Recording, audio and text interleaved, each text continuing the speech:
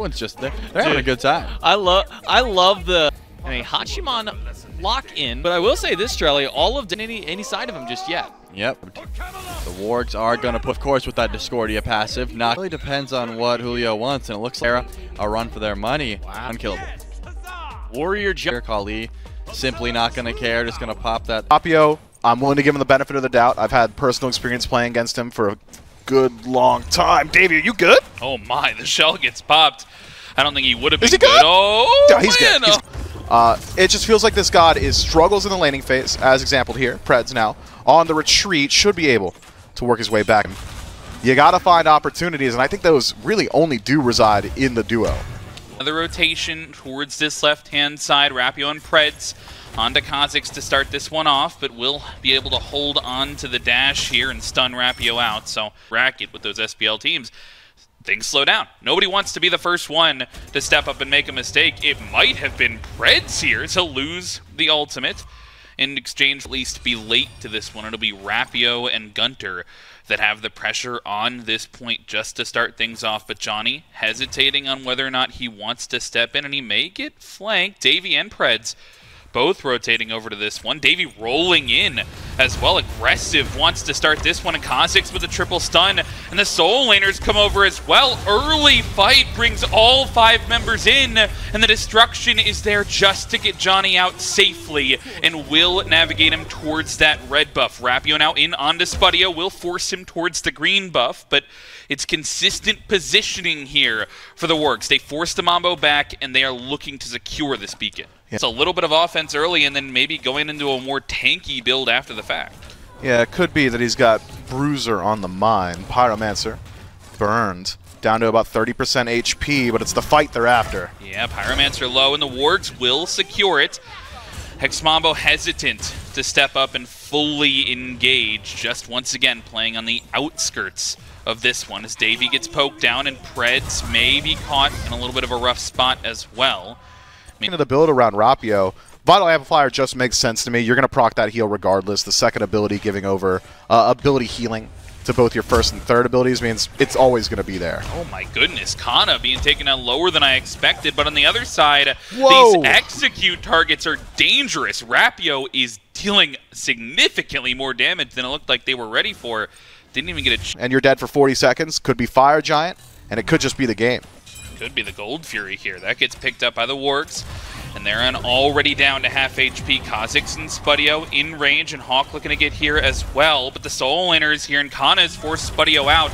And the Gold Fury will get taken down before Mambo get a chance to react. The, the hard CC of Julio, great on knockup, great on aggression maybe hard to do to peel. Sieging Beacon once again, and Kha'Zix is the engaged target off the bat, has to run away, and now it's Johnny who's in on the back line with Julio, and forced into the barrage is Davey, but the shell and the ultimate comes through, almost saves the life, but Julio grabs the first blood for the Mambo, and forces the Wargs back under the tier 1 tower. They've taken positioning, and it looks like they'll take the beacon. I can't believe Johnny gets away with that.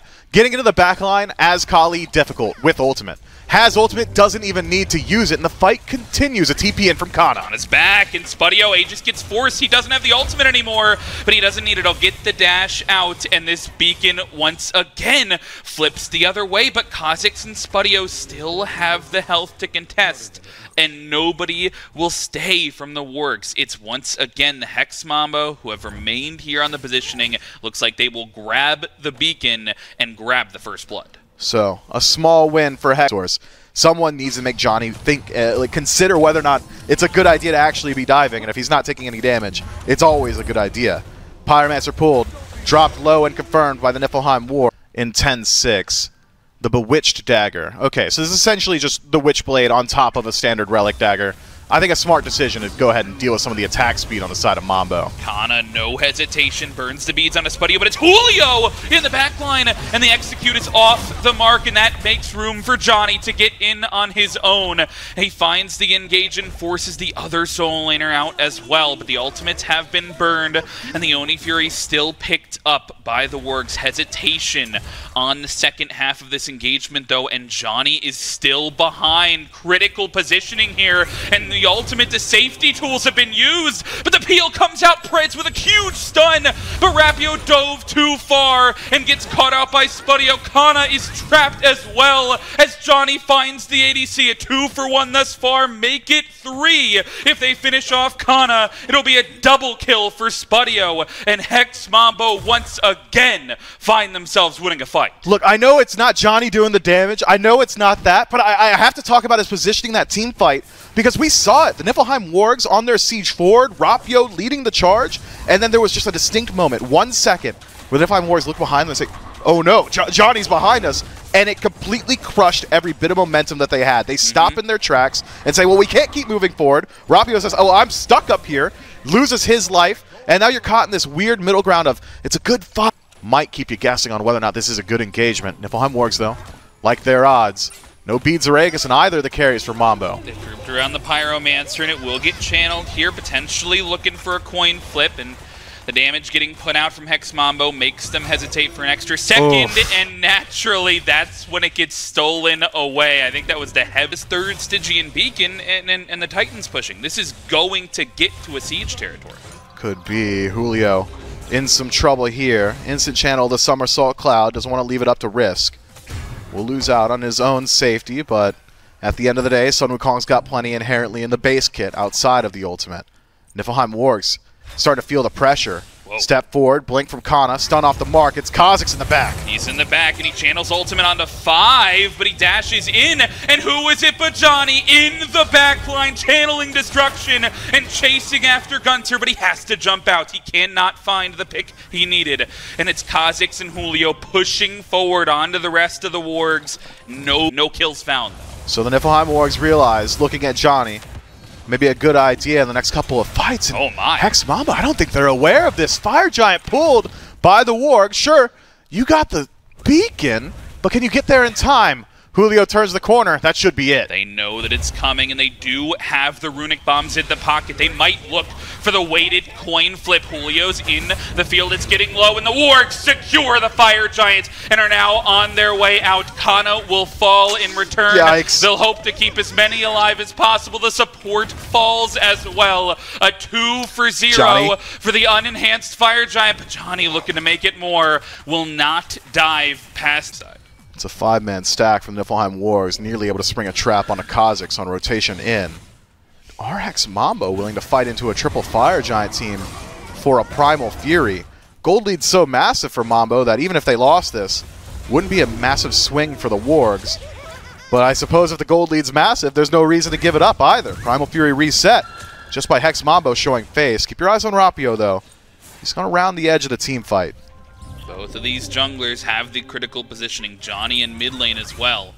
Will surely be looking for a flank Hawk's here, low. he walks over Ward and they find the engage. Hawk the execute is timed perfectly, and the mid laner's taken out first in this fight. But look at Johnny, he is behind the entire enemy team, and Rapio has found a double execute onto the members of Hex Mambo, while Johnny picks up the ADC and is looking for more. A triple for Rapio, and Julio has to clean it up with a double kill of his own, and all of a sudden a three for three leaves Spudio and Julio fighting Wow. for their lives. Just barely enough damage, and Spudio grabs a double of his own. A how do we stick to the carries? How do we get in there and stick to them? You don't have the initiation consistently.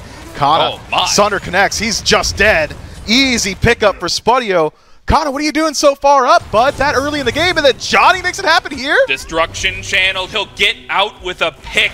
And out of nowhere, it- is a two for zero in favor of the Mambo, and that's going to make room for them around this enhanced Fire Giant. They may not even be done yet. It will be a back for Johnny as he is now on his way back towards this enhanced Fire Giant, but with three members still on the map, I would be remiss if, if Niflheim Wargs didn't at least try to contest this objective, still holding on to that runic bomb in their pockets, and Gunter and Preds linked up here as Julio is on zone duty. This is falling slow, though. It's only Spudio and Kha'Zix on the fight, but Rapio gets caught as well. It is three picks in a row, and with that, the rest of the Wargs have to back off.